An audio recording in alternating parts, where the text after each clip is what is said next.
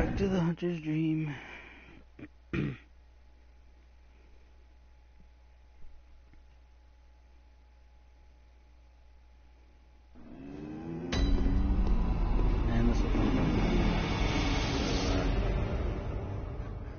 everybody who joined, or to those of you who will watch this later, I uh, I will throw this up on YouTube, just because it's what I do. I, it, the thing I always do.